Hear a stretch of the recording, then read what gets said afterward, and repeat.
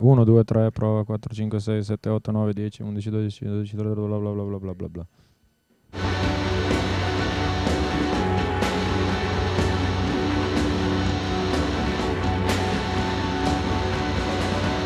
Nel nostro caso è successo perché il Museo Nazionale del Cinema ci ha contattato e ci ha proposto questa sonorizzazione e quindi da lì è partito tutto quanto. Non è un concerto, ma non è nemmeno come andare al cinema.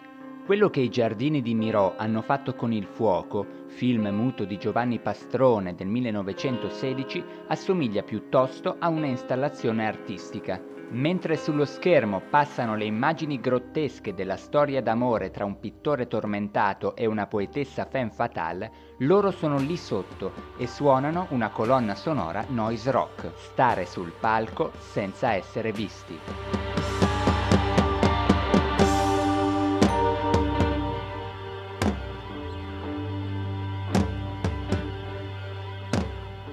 Per noi è stato un grosso passo in avanti, eh, non tanto appunto per il fatto di essere in luce o non in, nu- eh, non in luce, perché fortunatamente la parte, come dire, rockstar, non rockstar eh, o comunque il protagonismo sul palco è una cosa che non, ci appartiene di natura probabilmente, forse non abbiamo il fisico da ruolo, quindi sai, è naturale che sia così.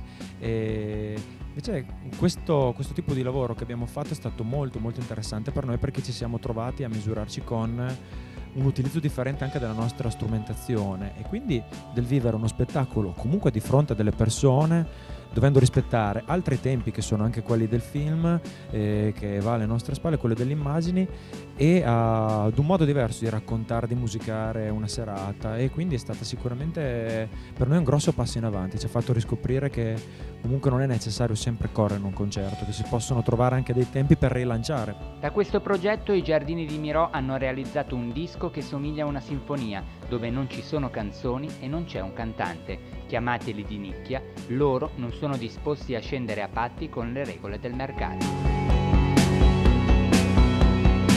È chiaro che nel momento in cui devi assolutamente, o cerchi assolutamente, in un modo un po' in Italia anche un po' esasperato, di vivere con la musica, perché qua non è esattamente facile, e, beh, i meccanismi e i tempi sono totalmente diversi. No, ricordo ancora per me questa cosa qua dei tempi, che devi per forza correre, buttare fuori cose per.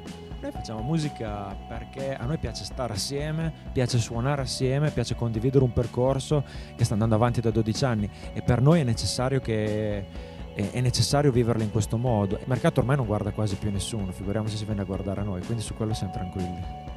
E allora, i principali esponenti della scena indie alternative italiana come la pensano riguardo a download e file sharing? E quindi riusciremo ad avere più soldi da investire nella nostra musica? Questo sicuramente cambia, noi abbiamo meno soldi da investire nella musica e dobbiamo aggiungerne comunque, oppure dobbiamo rinunciare a paga di qualche concerto perché la giriamo invece di mettercela in tasca. Io adesso ascolto gruppi della Siberia che magari è un gruppo elettronico siberiano che magari qualche tempo fa avrei fatto molta fatica. Ormai visto che tutto è...